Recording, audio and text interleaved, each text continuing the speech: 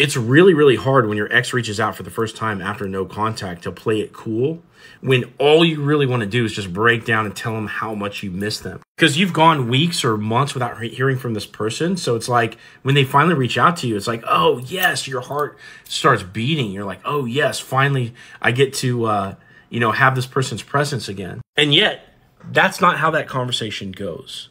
The way that conversation tends to go is like, hey, what's up? And you're just like, nothing, chilling, right? And you go back and forth just a little bit, and um, maybe you get carried away. Maybe you start to reveal your emotions if you're in the spot or you have been in the spot. And that's a bad, bad thing to do because what you're doing is you're validating to that person that you could sit around for months and not move on and you're still going to think about them. That person can go off, do whatever it is that they want to do, come back, and you're still going to be sitting there waiting for them, in love with them, with open arms, and they literally can do no wrong.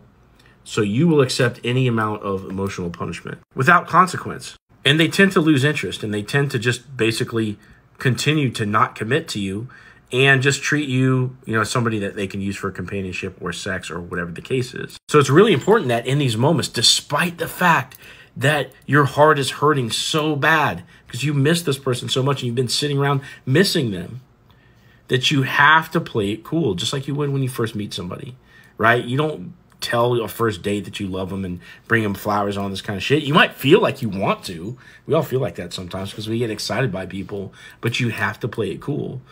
So how much harder is it to play it cool with somebody that you have, you know, months or even years of emotional history with? Yeah, it's really hard. But if you don't do that, you're not going to get the object of your desire, which is a relationship back with this person that pushed you away for some reason. Now, if you want some hand holding through these supremely difficult moments, um, click on my profile, click this link down here, and then apply for one on one coaching where we can have a conversation about what it's going to take um, for us to have an ongoing conversation about when your ex texts you, what to say next, what to do, how to feel, etc. And also breaking down the timeline of events. When can you expect this person is going to come back and how?